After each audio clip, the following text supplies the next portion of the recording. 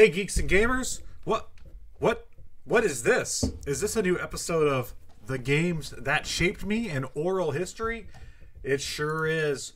I've brought back everyone's favorite series, hopefully somebody's favorite series, for Atari Week, and uh, who knows? I may keep this going as a regular part of my schedule. I haven't done one of these since January 31st, 2022, when I did Sonic Adventure 2. Uh, I didn't mean to drop the games that shaped me in oral history. I, I just forgot, and I never started back. Uh, but welcome to a very special episode of the games that shaped me in oral history, because today we are talking about the Activision anthology, and I'm also airing this episode on Thanksgiving. So thank you for giving this a listen, and get ready to have your ears tantalized with the stories of the the Activision anthology for the PlayStation 2. Now, this is Atari week, and I wanted to make everything this week Atari related. And while this is a PS2 game, it's a compilation of Atari 2600 games. Not just any Atari 2600 games, but it's a compilation of Activision anthology, the Activision uh, games for the Atari 2600. Now, in terms of gaming history, it is kind of uh, fun to note that Activision, you could sort of say, was the first like major third party developer. They probably weren't the first third third party developer, but they were the first third party developer of note.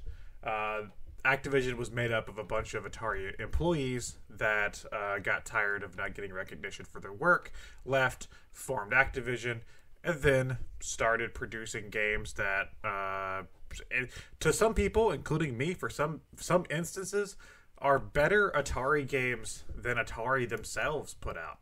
Um, some real classic stuff. Now, growing up, I didn't have an Atari 2600. I didn't get an Atari 2600 till I was about 16. I got one from a friend of mine who used to, uh, well, actually, he was the guy that like taught me how to video edit and stuff. Um, older dude, and um, he actually gave me his old 2600 and some games. And then whenever I got a little bit older than that, um, you know, in my mid 20s, I started to really get into Atari and started collecting that stuff and really exploring all of the, uh, you know, a lot of the library. But this is really where my Atari story starts and also is interesting to me how I got here. So, let's all go back to the year 2002 and or 2003. I'm not sure what year exactly. It was very early. And somewhere around 2002, 2003, I was about in second or third grade. Um, yeah, um, the story starts where all good stories begin at the retail chain Big Lots. you ever been to a Big Lots? It's like a, it's like a big uh, department store. Uh, but I think they take a lot of back stock or like over overflow from other stores and then, and then mark it down. Um, Big Lots. It's a store that I used to frequent a lot with my family. I still do go to Big Lots quite a bit. I think I a couple years ago I bought a bed from Big Lots. Uh, nice bed. It's the one I have now. And um, back in the day, they used to actually carry video games. Now I, th- I think like they, they still carry like Blu-rays or DVDs, maybe CDs. I doubt they have like video games like like they did back then. Um, back then, I, I used to be able to go and find some decently priced games for like the PlayStation Two and stuff. And we weren't the the wealthiest family in the world, so getting brand new games was not common. Usually, I would get used games, games from yard sales, or games that were marked down like at Big Lots. I think the, I I think the last game I bought at Big Lots was um I think I was there. I'm trying to think of what year this was. Maybe 2012, somewhere around that time, 2012, 2013. And I bought on the PS3 for ten dollars each. I got a copy of Yakuza Dead Souls and a copy of Binary Domain. They had both those games, both by the same team. Oddly enough, they had both those games there at, at Big Lots, and I bought those. Um, going back to 2002, though, I remember we were at Big Lots as a family. Uh, we would go from time to time, and I was looking through the video game section, as were my parents. My parents also like video games. My mom more so than my dad, but my dad does still like some video games, like I'll talk about today. Um, and I remember we got two games um, from Big Lots that day. I got a game, which my game was a copy of Ape Escape 2, a game that also I played a shit ton of, and I could talk about that that series another time on this show. Um, they got the Activision anthology. Uh, I didn't know what this was, but hey, a brand new game to play on my PlayStation 2. Sign me up. You know, I'm not going to complain. I'm a dumb kid. I just want to play games. Um, so I remember we, we get home, and the first thing they want to do is play the Activision anthology. They're very excited for this game. Very excited. And of course, you know, whenever you're a kid and your parents are excited to play a video game, it kind of makes you excited to play a video game because you know you're kind of like sharing in the sharing in the hobby together.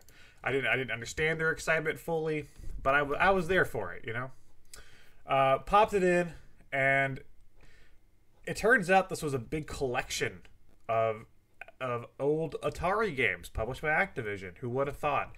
Uh, not me at the time because I didn't know what the hell an Atari was or what the hell an Activision was. Uh, but I remember we started playing, and the first game they started playing was a little game called River Raid. Now, River Raid is a game that came out for the 2600 in 1986.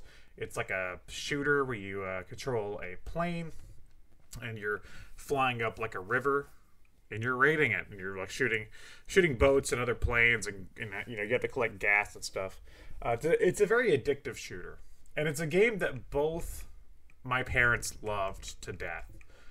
So of course it's, it's the first thing they wanted to play. Um, and I, I I remember watching them play River Raid. I played myself, but I was really bad at it at that time. I'm honestly I'm I'm still bad at, at River Raid, but I remember watching them play this game, and the graphics were so much worse than what I was used to on the PlayStation 2, obviously. But um, I, I've always kind of enjoyed older stuff. I mean, honestly, that's probably why I'm so into Atari now. Um, even as a kid, I was I was into like retro games and I was into like cartoons from the 1930s and shit. Like I I love I love experiencing things from way before my time. And uh, I remember watching them play this game, but something interesting was happening at the same time. There was music if you play Atari games, you should know Atari games don't really have music. Uh, no, the the music was like a collection of songs from like the 1980s, um, and I have some of them brought up here. There's there's actually a Spotify playlist you could find um, that it, it, does a pretty good job with some of the ones that I remember. Um, and some of these songs are like stuck in my eye, uh, stuck in my eyes. I was I was reading one of the names, stuck in my ears and my eyes, I guess. now because I'm looking at them. Um, so there's songs like "Pulling Mussels" from The Shell by Squeeze. That song's on my personal playlist. I love that song. Always something there to remind me by Naked Eyes. That's why I said eyes a minute ago because Naked Eyes. I was reading that. Uh, Mexican Radio by Wall of Voodoo. I love that song. The Tide is High by Blondie. I'm a big Blondie fan, so that's cool. Um, th- just just a ton of songs were included, like 80 songs and uh, it was very cool at the time because I I I don't know I didn't really have a lot of experience with like that type of 80s music. Um, the music on the radio in 2002 was like Green Day and uh, I don't even know like No Doubt and so you know and, and stuff like that. It was basically 2002 was basically still the 90s. Let's not lie. Um, and my parents liked older music, but they listened to a lot of like uh, like Ozzy, like Ozzy Osbourne and stuff. So um, a lot a lot heavier. So it's my first time really getting to like listen to a lot of like eight like 80s pop or like 80s you know what you would listen to on the on the on like the the top hits radio stations you know in the 80s uh, very cool for them to include that on this anthology i don't think i've seen another collection really attempt this because um, again, Atari games don't really have music, so like it really helps to like set the tone, put you in that mind space. Like I playing it, I I feel like I'm in the '80s, even though I was I've never been in the '80s, you know. So there's a, a bunch of games on the Activision anthology that I really enjoyed, and I'm gonna go down the list here and say some of them that I've really enjoyed, and they're in alphabetical order here. Uh, so really enjoyed Barnstorming. It's a game where you have to fly an airplane through barns and avoid uh, uh, I don't know what they are like wind windmill things and birds.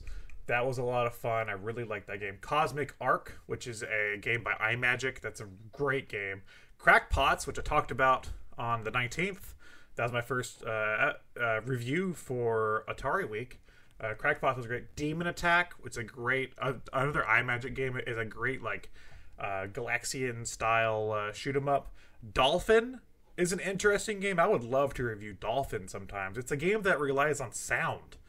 You have to like listen to the sounds. It's it's it's sort of trying to do like a like an echo sonar thing because you're a dolphin. Pretty pretty cool. And Enduro was a cool like racing game uh, for its time. Fishing Derby was one that I played a lot with my mom. Um, probably not the best game ever, but it's fun. Also Freeway, which is like a dumb Frogger like type game, but it's like competitive head to head. That one's a lot of fun. Frostbite was one that's also very Frogger like. That's also a ton of fun. It, it's almost like a better Frogger. Hero is a great like platforming type game for the 2600. Uh, Kaboom was one that I really got into. Um, even though back then I didn't understand that the Atari had like paddles because I was I was a kid playing a PlayStation game. So um, the controls kind of weird on the PlayStation version, but when you're a kid, you're playing a game, you just kind of assume like that's that's how it's you know meant to be. But turns out it was meant to be way better than that. but I still liked it. Keystone Kapers, which I did a review of recently, that was one that I played a lot of. Laser Blast, I love that game. I love Mega Mania, that's a great shooter. Oink, I would love to review Oink sometime. Oink is a really creative game based on the Three Little Pigs. I really like that game. Of course, Pitfall. You got to you have to talk about Pitfall. That's like the, the big Activision game. People love Pitfall. Plaque Attack was a shooter where you had to protect teeth. That's a weird game. Uh, I've already mentioned uh, River Raid. Pretty cool. Um, and I'm I'm skipping a bunch of stuff here. Spider Fighter, I reviewed that one. That's a game that I played a ton of on this collection, and I mean a ton of on this collection. Uh, and like I said, I skipped over a ton of games, and I love them. I don't. I'm looking here, and I'm seeing that maybe some of these weren't on mine. Let me see if any of the ones that I listed weren't. Cosmic Ark wasn't on my collection, and um, I think that's it. So that one I didn't play as a kid. Uh, I don't. I didn't remember playing much of it. I know what I, I played Demon Attack, which was an Imagic game. Turns out I didn't play Cosmic Ark, but I have played Cosmic Ark a ton uh, later in life, so I can still speak on that game being great. Um, the Wikipedia page here says which version of the Activision anthology has which games. And apparently, the Windows one has everything, and then like the other ones, Mac, PS2, Game, Game Boy Advance, Digi Blast. What the hell's a Digi Blast? Android, iOS, and PSP have like uh, a, a spattering of different games. So that's interesting. Um, yeah, I just you know I think that this is like, and in terms of me being an Atari fan, this is really where it started. I think shortly after I played the Activision anthology I got one of those uh, plug and plays, and it was like themed after the uh, 7800, and I played that one a bit. Um, but this is really where it started, and really where like some of my earlier interests and um, retro games started with these like game collections of PS2, and this was one of my earliest ones, uh, along with like some of like the Namco uh, uh, uh museums, the Taito Legends, and like the Sonic Genesis or not the, the Sonic Mega Collection and stuff. Um, that's really where like my interest in these these types of older games came from. Outside of me playing, you know, the couple games I had for like the Genesis and Super Nintendo. Also, like I said, my parents loved this. Um, they played a lot of these games when they were relevant back in the '80s. Uh, I know my mom for example, she and her dad played a ton of Atari back in the day, and I'm pretty sure she had a bigger collection than I do now back then because it's it's it seems like all the time whenever we're talking about Atari, she's like, "Oh yeah, I had that. Oh yeah, I had that. Oh yeah, I had that one." So yeah, it seems like they they had a big collection of Atari games. Kind of jealous that they got to experience that when it was you know relevant. Um, but yeah, I, I could really tell this this collection meant something to them as well, and uh, is sort of like a stepping stone with my relationship with games and my relationship with them. Um, a lot of times, whenever I was a kid, we would have busy weeks. You know, we would have like weeks where I had school, then you know my dad had to work, and then my mom had to work, and then like on Saturdays we'd go visit family and stuff. So we really get to spend, you know, out, like other than like maybe dinner time, we didn't really get to spend a lot of time together. So a lot of the times on Sundays we would have like a family day. Like you, you we don't go see friends, we don't go see family that day. We just spend time together.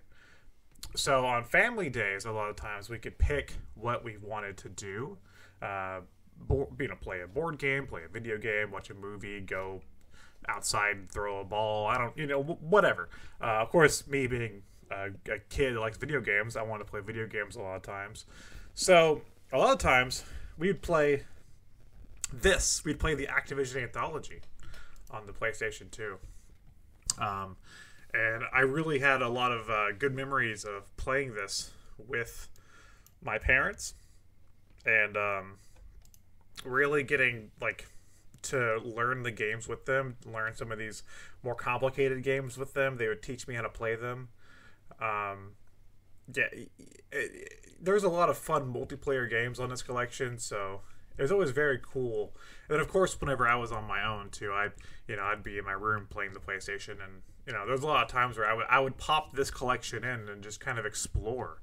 You know, there's so many games to explore on this live, you know, and, and and this collection. So that was very meaningful to me too.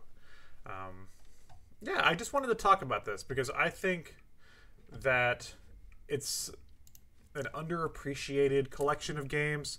I don't think Activision has done anything like this since. Uh, of course, now I think like all these games are now owned by uh, Microsoft because Microsoft swallowed up um, Activision this year. So uh, who knows? Maybe Microsoft will like put out uh, a collection like this on um, Game Pass or something. Who knows? Like, uh, or like even uh, they might just put one out in general. I know like uh, Blizzard did like an arcade collection a year or so ago, which was actually pretty decent. Um, so I would love to see like the Activision side of things. I don't. These games aren't really referenced anymore outside of like a few cute little cameos. Like I think in um, Crash Team Racing Nitro Fueled, there were like stickers for um, River Raid and and uh, Barnstorming and Freeway. I think um, that was cool. Uh, yeah, I just really appreciate this collection for getting me into Atari and getting me into video game history. Um, another cool aspect of this collection was the fact that uh, you can get certain scores in the game, and they would you would get patches like uh, like like like patches you you know you would sew onto clothing like jackets and stuff which sounds silly in a video game context but it's cool when you think about the fact that that's something that activision used to do. You could submit uh, you know a photo of your television showing your high score in the game and they would send you a patch for that game. That's awesome. Also i love the fact that you could unlock commercials. I used to try to unlock all, all the commercials for these games and then i would watch said commercials, of course. If I unlocked them, why wouldn't I watch them?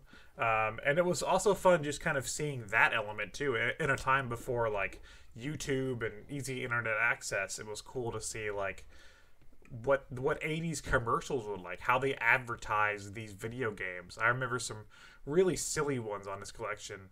Uh, vaguely, I don't it's it's it's been a while since I've watched them. Maybe that's a fun idea for a, a video watching like Atari commercials at, at some point. But um, yeah, it's it's uh it's good to look back on a collection like this now because I can really appreciate like how I got here, where I am now, and what I'm into now. You know, uh, I mean, I'm I'm dedicated a full week to Atari content this week And uh, that wouldn't have happened if I didn't have the Activision anthology in my life, if I didn't get to play the Activision anthology and really experience what it had to offer. So, thank you, Activision Anthology. Thank you to my parents for introducing me to Atari and through this collection and also playing the games with me as a kid. And uh, thank you to you at home. I give thanks to everybody that's listening to this episode. Uh, let me know if you would like more episodes of the games that shaped me. And it's something that I might and be up to doing, uh, you know, more of in the future. Um, it's a series that I'd like, but I don't know. I uh, I stopped doing it for some reason. Who who knows why I did that? Not even me. Um, so please enjoy your Thanksgiving. Uh, eat your turkey. Eat your stuffing. Eat your cranberry sauce. Unless you're not like in the U.S. and stuff, where this holiday means nothing to you. Uh, still eat some food because that's the best. Okay, look, I I don't like Thanksgiving. I, th- I think the the origins of the holidays bullshit, stupid, but the food is fantastic. So really, it's a it's, it's a holiday of food for me, where I just get to gorge myself till I'm I'm fat and full, then fall asleep on a on a chair or something. Um, so enjoy food, enjoy time with your family. Uh, give thanks to the everybody in your life, and give thanks to Atari. Thank you, Atari. We all love you, every single one of us. That's right. We all we all do. Um, thanks for listening. This has been the games that shaped me in oral history. I just gave you oral in the form of history. I had to get a little pause in there. And uh, I hope you guys have a good day. Bye. Game time. Yeah. Got this new video game by Activision called Freeway. I just plug it into my Atari video game system and really impress the ladies. Of course, with Freeway, you gotta be real good to race your chicken across 10 lanes of heavy tra traffic. You gotta dodge speeding cars, roaring trucks. Sometimes you make it without getting your feathers ruffled. Sometimes. Ladies, I'm only human. Freeway by Activision.